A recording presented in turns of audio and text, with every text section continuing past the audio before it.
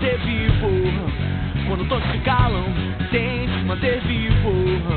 Quando todos se calam, tem que manter